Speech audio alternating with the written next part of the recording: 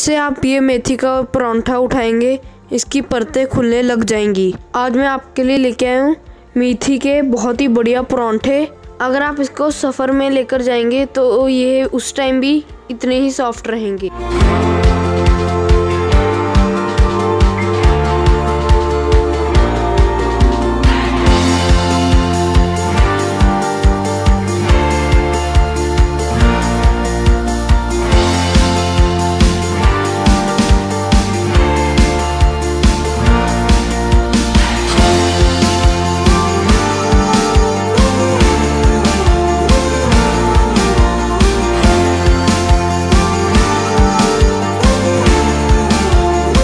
Hello दोस्तों मैं हूँ आपका दोस्त हैरी और आज मैं आपके लिए लेके आया हूँ मेथी के बहुत ही बढ़िया परांठे। आइए देखते हैं ये किस तरीके से बनाया जाता है। हम एक, एक बाउल में आटा डालेंगे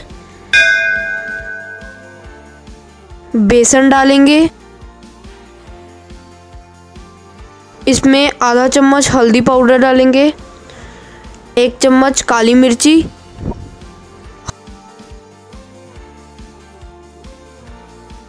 हरी मिर्ची। हमने अजवाइन को हाथों की मदद से क्रश कर लिया है। आधा चम्मच लाल मिर्ची।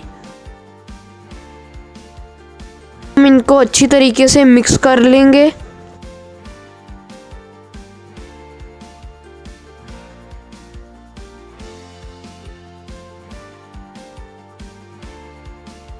अब हम एक कढ़ाई लेंगे। उसमें एक चम्मच तेल का डालेंगे। जब तेल हमारा गर्म हो जाएगा तो हमें उसी टाइम जीरा डालना है। जब जीरा पक जाएगा, तब हमको उसी टाइम मेथी डालनी है। और इनको अच्छी तरह से दो से तीन मिनट के लिए भूनना है।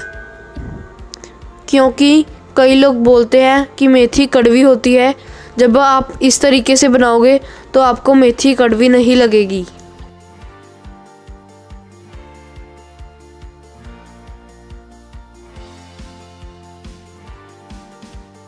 अब हम इसका एक डो तैयार करेंगे। आधा चम्मच लाल मिर्ची बारीक कटा हुआ अदरक अदरक डालेंगे।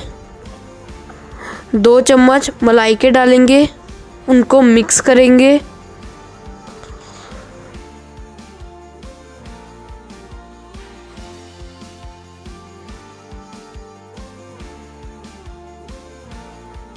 जो मेथी हमने भुनी थी, वो भी इसमें डाल देंगे। फिर इसको अच्छी तरीके से मैश करेंगे। इसको अच्छी तरीके से आटे में गूंदेंगे।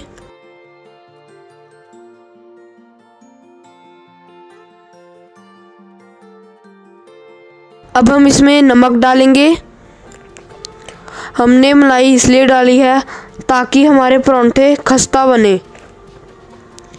यही परांठे खस्ता बनाने का सीक्रेट है। पानी हमको हिसाब से ही डालना है। इनको डो ज़्यादा सख्त नहीं करना है, ना ही ज़्यादा ढीला करना है।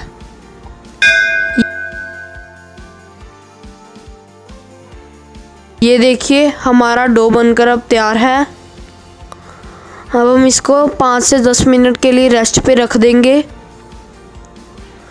अब हम एक रोलिंग बोर्ड लेंगे, उसमें एक लोई रखेंगे। लोई को सूखे आटे में लगा लेंगे और अब हम बेलेंगे। हमको परौंठे को ज़्यादा मोटा नहीं बेलना है।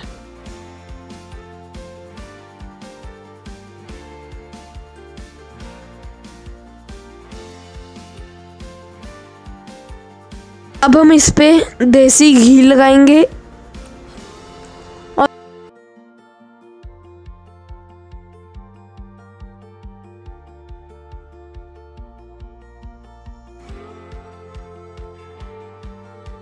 और इसको इस तरीके से फोल्ड करेंगे।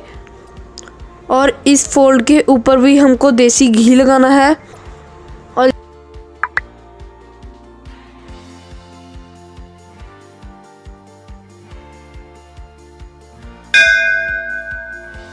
इसको अब हम इस तरीके से फोल्ड कर देंगे। हमने इसको ट्रायंगल शेप में बेला है। हमको इसको ज़्यादा पतला नहीं बेलना है।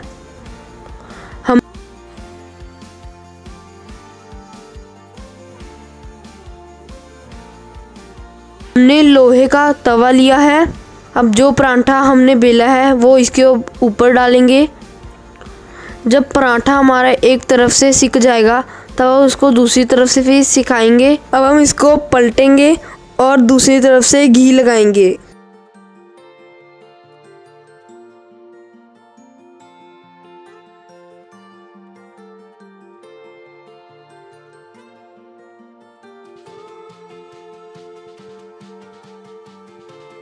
गैस को हमको अब मीडियम कर देना है। ये देखिए, इसकी पत्ते कैसे खुल रही हैं। ये देखिए, अब हमारा परांठा बनकर अब तैयार है। इस तरीके से हम बाकी आटे के भी परांठे बना लेंगे। अगर आप इस तरीके से परांठा बनाते हैं तो आपके ये परांठे दो दिन तक भी सॉफ्ट रहेंगे। अगर आपको ये मेरी वीडियो अच्छी लगी हो तो आप मेरे चैनल को लाइक शेयर और सब्सक्राइब ज़रूर करें और मुझे कमेंट सेक्शन में बताएँ आपको ये रेसिपी कैसी लगी।